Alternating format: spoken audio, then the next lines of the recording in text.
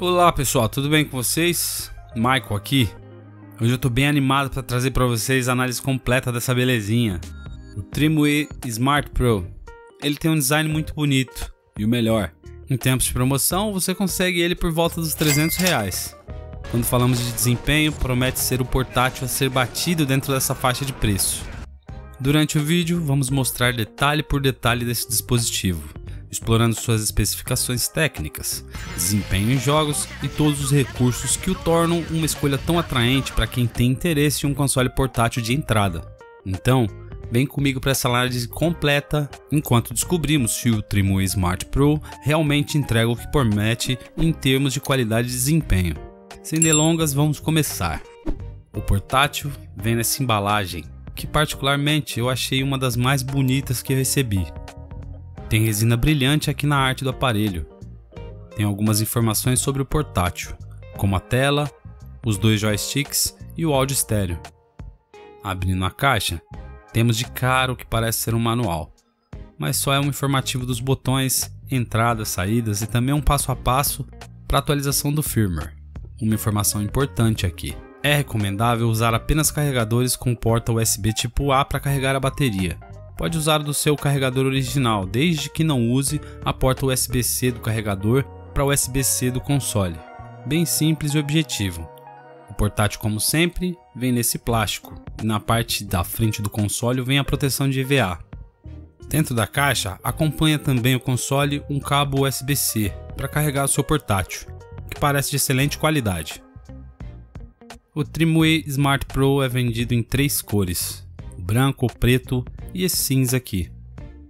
O portátil por ter layout horizontal traz uma ergonomia muito bacana se compararmos a consoles com disposição vertical. Essas partes arredondadas nas extremidades lembram muito a pegada do PSP e PS Vita, que tinham um design parecido. Falando em PSP e PS Vita, você já teve algum desses portáteis? Qual o seu jogo favorito desses consoles? Fala para mim nos comentários. O plástico parece resistente, tem textura bem suave o grip do portátil não é dos melhores, parece um pouco liso.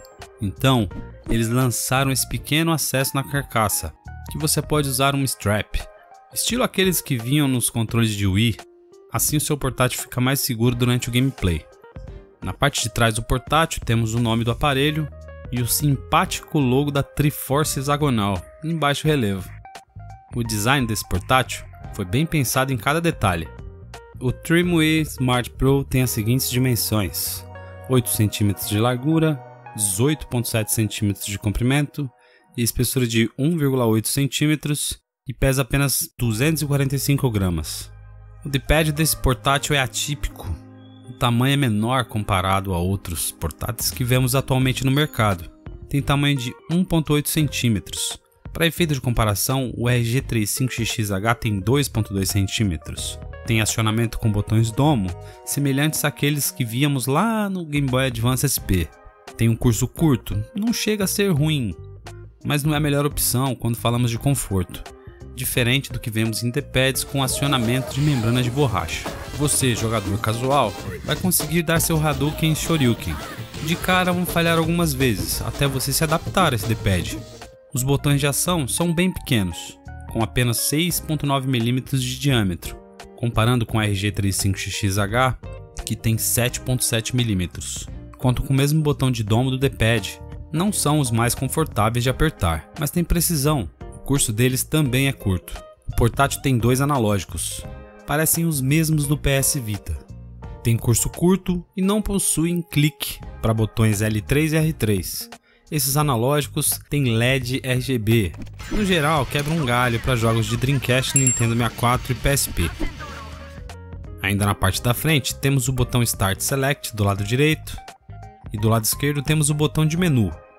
Os botões de ombro são ok, da maneira tradicional que conhecemos, empilhados. L1 e R1 desempenham bem o seu papel, já o L2 e o R2. Hum... Aqui temos o principal ponto que não gostei nesse portátil. Pergunta: Vocês já viram um console que os botões de gatilho tivessem um curso menor do que os botões de ombro? Então, só acontece aqui. Algum problema no projeto desses botões aconteceu. Não são confortáveis como parece. em jogos precisam ativamente desses botões, como aqui no Banjo-Kazooie. Eu não sei se eu vou conseguir explicar, mas com um vídeo fica mais fácil para vocês entenderem. Aqui ó, para dar um rolê de Kazooie você precisa manter pressionado o botão Z, que está mapeado no L2. Será comum você apertar um desses botões e do nada perceber que não está apertado. Como o curso é pequeno e o switch interno não deve ser dos melhores. Só com o tato você nem percebe que parou de apertar o botão. É um pouco cansativo usar esses botões com frequência. Mas como tudo na vida, com o tempo, você acaba se adaptando. Se você é um fã de Nintendo 64, você pode acabar um pouco aborrecido com L2 e R2 desse portátil. Ainda na parte de cima, temos os botões de controle de volume. Uma porta OTG USB-C, e não é para carregar o portátil por aqui, hein? É só para periféricos, teclado, pendrive. Terminando a parte de cima, temos o botão Power. Na parte de baixo, temos esse botão FN, que é uma chave de duas posições. Funciona como um coringa que dá para você configurar algumas opções de sistema para ela habilitar ou desabilitar. Vou falar mais desse botão durante o vídeo. Aqui temos esse tapa-buraco, que deve ser uma tentativa para alguma porta adicional como USB-A ou até um HDMI, que não deve ter dado certo, então taparam com esse plástico. Logo do lado, essa é a porta USB-C para carregamento. Tem um microfone aqui, que é curioso ver nesse tipo de dispositivo. Temos a porta de cartão microSD e por fim a saída de 3.5 mm para você conectar o seu fone de ouvido. Por falar em áudio, eu ia esquecendo. O portátil tem dois alto-falantes, proporcionando som estéreo. O legal é que eles ficam aqui na face do portátil, criando uma linha reta de áudio em direção ao seu rosto. Isso garante melhor imersão durante os efeitos de áudio dos jogos. Os alto-falantes são pequenos, com 1 watt de potência. Tem um volume moderado e qualidade média. É ok para a proposta desse portátil que é ser um custo-benefício. Bora ligar o portátil. É só segurar o power por dois segundinhos. é só segurar o power. Voltei, voltei. Enquanto inicia, pega a visão. 75% do público que vem aqui não é inscrito. É muito triste.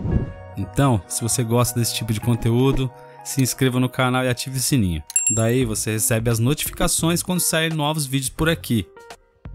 Bora continuar falando agora das especificações técnicas do portátil.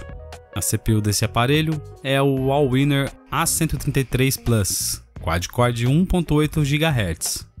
A GPU é a PowerVR GE 8300. E para auxiliar esses dois carinhas, o sistema tem 1 GB de memória RAM LPDDR4X, na conectividade, temos o Wi-Fi 2.4 GHz e o Bluetooth 4.2 integrados. Só que esse último aí só está habilitado em firmware 1.0.4 ou superiores. O portátil tem uma tela IPS HD 1280 por 720 pixels. Tem 4.96 polegadas e aspecto 16 por 9. A bateria é de 5.000 mAh, que segundo o fabricante garante entre 5 e 7 horas de gameplay. Lembrando que esse valor é variável porque depende da plataforma que está emulando. Se for Game Boy vai durar muito mais a bateria, se for PSP vai durar menos. O portátil tem sistema Linux de código aberto, que abre bastante possibilidades quando falamos de sistemas alternativos. O sistema que vem de fábrica é um ponto alto desse portátil. É bastante polido e fluido, a maioria das coisas aqui funcionam muito bem. O design da interface é muito bonito, mas tem aquela de barulho. Quando você aperta algum botão, só que felizmente os alto-falantes não desempenham um volume muito alto, então não chega a incomodar. Quando você navega no sistema, você nota que a cor do LED dos joysticks muda conforme o fundo da imagem que você está navegando. Tem guias superiores, que você alterna com os botões L1 e R1. Na primeira opção ficam os jogos recentes. Na sequência tem os favoritos, depois os jogos separados por plataforma. Na guia app temos o FN Key Settings. Aqui fica o ajuste do botão estilo chave. Particularmente, gosto de deixar para habilitar o modo performance, mas você pode escolher a função desse botão dentre as disponíveis. Como ativar e desativar os LEDs dos joysticks, habilitar ou desabilitar o modo de economia de bateria, entre vários outros. Tem até turbo aqui. Personalize o seu gosto. A opção de montar um armazenamento externo, como de um pendrive aqui na porta OTG, e também tem um retort para você definir padrões de configurações global desse emulador. Temos Netplay, que supostamente busca por sessões de jogo multiplayer iniciadas em outros dispositivos na sua rede. Em breve eu farei um vídeo dedicado para mostrar como é que funciona a configuração do Netplay para qualquer portátil que rode o Retroart. Inclusive como tirar aquele contra entre dispositivos diferentes. Funciona. Por último, temos a guia Settings.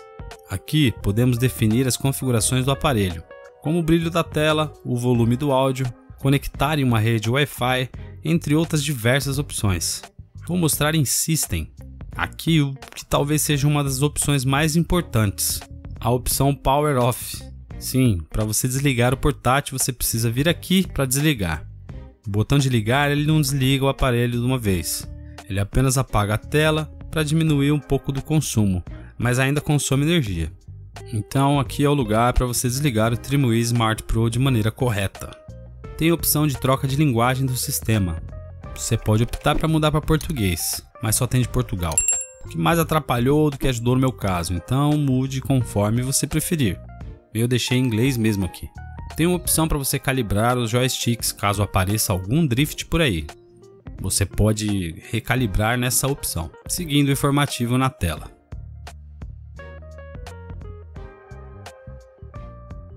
Aqui em Device Info, você consegue consultar qual versão do firmware está instalada e de qual data ela é, em UI Version. Descendo, você tem informações sobre o processador, memória e também o armazenamento do seu cartão microSD. Vamos retornar às settings, que tem diversas outras opções. Você pode ir acessando para conhecer todas elas.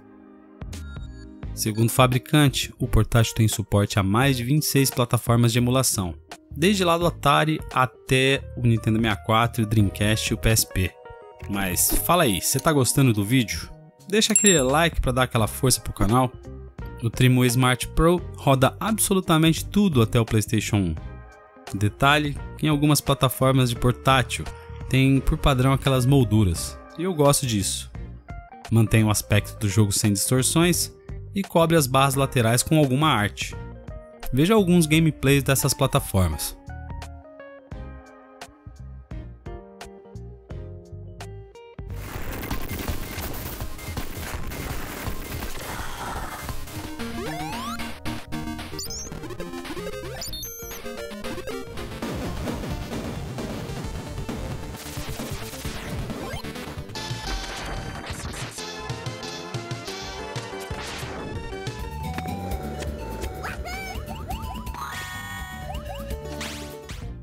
Show até aqui. Depois disso, temos cinco plataformas da qual estamos chegando ao teto do que esse dispositivo pode emular. A primeira é o Nintendo DS. Como não temos touchscreen nessa tela, a posição da caneta é emulada com o joystick esquerdo e o toque da caneta é feito com o botão R2. Então, alguns jogos que usam ativamente da caneta podem não ser tão intuitivos para você jogar nesse portátil. Sega Saturn como sempre, dando trabalho para emular.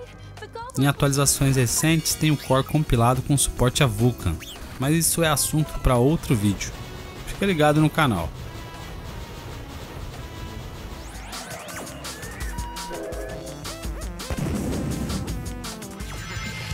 A emulação de Dreamcast é boa, não é perfeita, tem um frame skip aqui e ali, mas a maioria dos jogos você consegue ao menos velocidade 100% durante a emulação.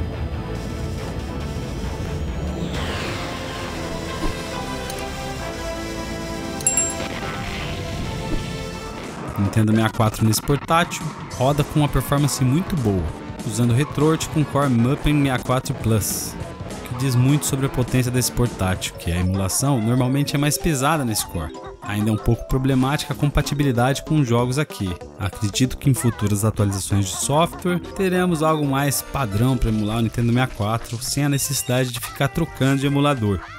Chegamos ao PSP, roda coisa demais de PSP aqui com boa velocidade durante a emulação. Alguns jogos você consegue rodar em até 3x de resolução do PSP. E fica a dica, recomendo sempre que use a resolução 1 por 1. Vai exibir exatamente a renderização no tamanho da sua tela, daí você não exige nem mais nem menos do seu processador e placa de vídeo. Em jogos mais pesados será necessário fazer alguns ajustes, como hack de FPS a 30 frames aqui no God of War, ou até desabilitar os efeitos de buffer. Um jogo com performance impressionante para um portátil na faixa desse preço é o Dante's Inferno. Com cheat de 30 FPS, o jogo vai até bem, dá para se divertir. Em breve farei um vídeo detalhado sobre as possibilidades de emulação de PSP nesse portátil. Esse sistema tem desenvolvimento ativo e nesse mês lançaram a versão 1.0.4. Entre as principais mudanças temos suporte a Vulkan no Retrort IPP SSPP, adicionaram Moonlight para streaming de jogos do PC e também habilitaram a função Bluetooth para fones de ouvido. Há outras mudanças nessa atualização. Em um vídeo futuro vou mostrar como atualizar e demonstrar as novas funcionalidades. E sim, já tem desenvolvimento de sistema customizado. Tectoy Tinker é o desenvolvedor do Tomate OS e também lá do The Retro Arena. Se inscreva no canal dele se quiser acompanhar o andamento desse desenvolvimento. O desenvolvedor Acme Plus vem trabalhando em uma versão de Emulation Station para rodar como app aqui no Trimway Smart Pro. É muito bom para quem gosta da interface do Bataceira. É, meus amigos, quase no fim eu vou recapitular com vocês as vantagens e desvantagens desse portátil. Primeiras vantagens: Olha lá, em tempos de promoção, esse console tem um preço muito atrativo por tudo que ele é capaz de emular. O sistema operacional é um ponto forte, fácil de mexer, fluido e tem um design bem bonito. A tela desse portátil é um show à parte com resolução HD e tamanho de quase 5 polegadas, te garante maior conforto para ler aquela letra miúda, sabe? Performance de Nintendo 64, Dreamcast e PSP é consideravelmente superior aos concorrentes. Então, Pensa nisso na hora de comprar. Por último, mas também não é menos importante, para dar aquele FPS a mais, temos os LEDs no entorno dos analógicos, que mudam de cor conforme o papel de parede do sistema quando está navegando. Eu particularmente não gosto, prefiro desligado, mas tem quem curte. E é um plus que não tem na concorrência. Ele é grande e ao mesmo tempo é portátil. Confuso, né? A ergonomia dele é muito boa Todos os detalhes do design foram bem pensados para encaixar nas suas mãos. Você vai jogar por horas e não vai se cansar. Nem tudo são flores, então o Trimui Smart Pro não está isento. Agora, o que deixa esse portátil a desejar?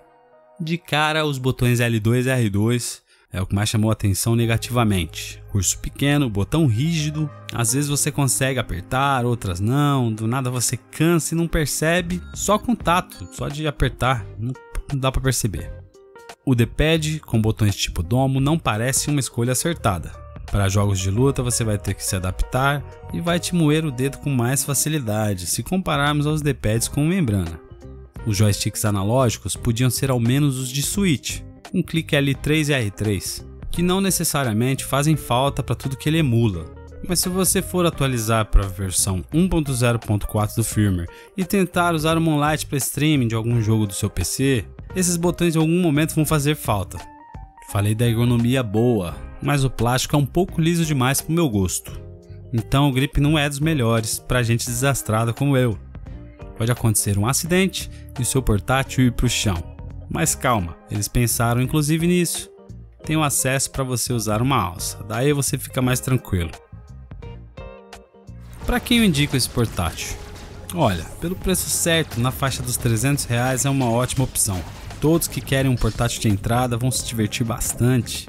Vai ter performance máxima até emulação de PS1 e com pequenos ajustes vai ter um desempenho aceitável jogando Dreamcast, Nintendo 64 e até o PSP.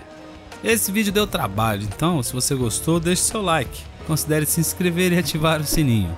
Assim você recebe notificação quando sai vídeo novo por aqui. Na tela eu deixei uma playlist completa dos vídeos de consoles portáteis que fiz aqui no canal. Também tem um vídeo especial que eu espero que goste. E eu sou o Michael, você está na Arcade Fan. Até o próximo vídeo.